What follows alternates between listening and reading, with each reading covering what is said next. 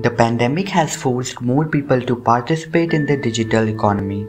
More people have taken to digital channels to fulfill a variety of needs like purchasing groceries and accessing health services.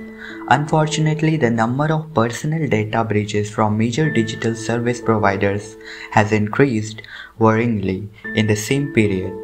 The percent alleged data breach at MobiKwik would stand to be India's biggest breach with the data of 9.9 crore users at risk. Robust data protection regimes are necessary to prevent such events and protect users' interests. Unfortunately, the existing data protection regime in India does not meet this standard. However, the Personal Data Protection Bill 2019, now under scrutiny by a joint parliamentary committee, could play a big role in providing robust protections to users and their personal data. In this context, this article seeks to answer a fundamental question How can the bill protect users' interests in the digital economy? No effective protection. How different entities collect and process users' personal data in India is mainly governed by the Information Technology Act 2000 and various other sectoral regulations. However, this data protection regime falls short of providing effective protection to users and their personal data. For instance, entities could override the protections in the regime by taking users' consent to processing personal data under broad terms and conditions.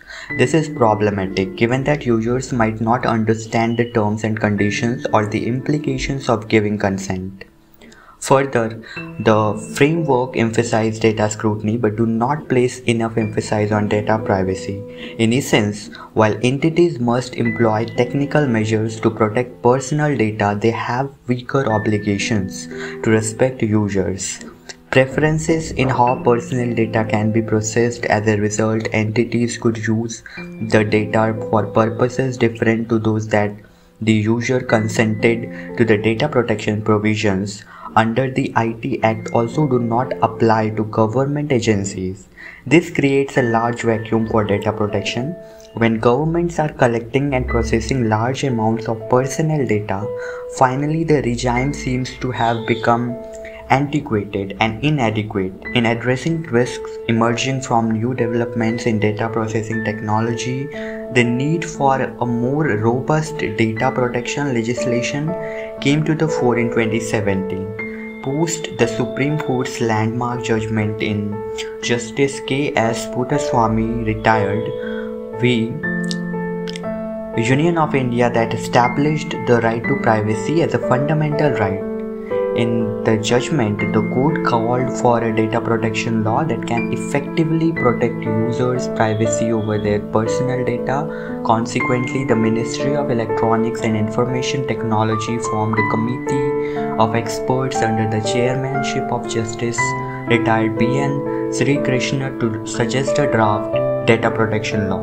The bill in its current form is a revised version of the draft legislative document proposed by the committee. The upcoming regime. The proposed regime under the bill seeks to be different from the existing regime in some prominent ways. First, the bill seeks to apply the data protection regime to both government and private entities across all sectors. Second, the bill seeks to emphasize data security and data privacy while entities will have to maintain security safeguards to protect personal data.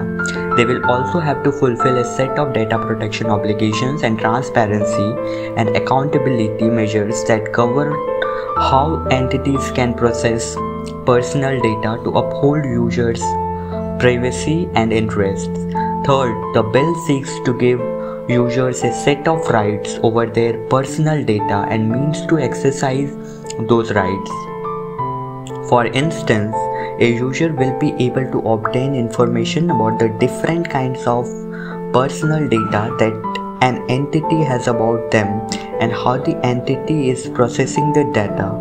Fourth, The bill seeks to create an independent and powerful regulator known as the Data Protection Authority DPA. The DPA will monitor and regulate data pro- processing activities to ensure their compliance with the regime. More importantly, the DPA will give us users a channel to seek redress when entities do not comply with their obligations under the regime. The bill seeks to bring a massive and meaningful change to personal data protection in India through this regime. However, the reality could be different. Several provisions in the bill create cause for concern about the regime's effectiveness.